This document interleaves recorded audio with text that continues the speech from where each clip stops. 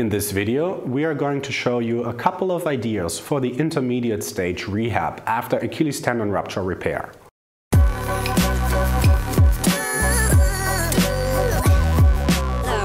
Get our very own assessment ebook and mobile app. Links are in the video description. Hi and welcome back to Physio Tutors. The Achilles tendon, being the biggest and strongest tendon in the human body, is formed by the tendons of the soleus and gastrocnemius muscles, which both insert at the calcaneus. We mostly see ruptures of the Achilles tendon in high-impact sports, predominantly in the male athlete.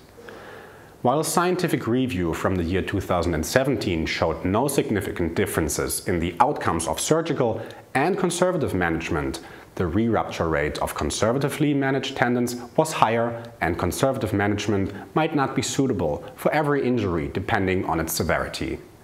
However, there is a clear benefit of an accelerated rehab program, including early mobilization versus immobilization, as has been researched by Brumann and colleagues in 2014.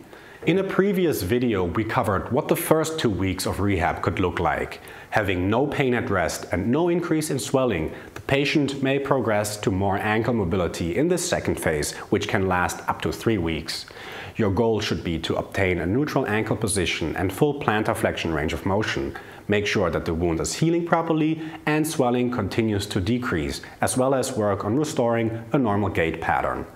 You can continue to load the exercises from phase 1, but in phase 2 we are going to focus more closely on the ankle. In a non-weight bearing position, the patient moves the foot into as close as full plantar flexion and returns to neutral position.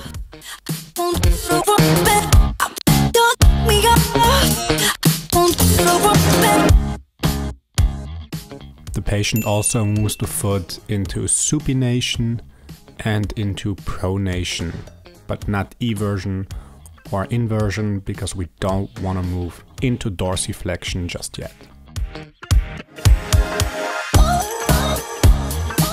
You can apply resistance with a TheraBand to the previous two movements.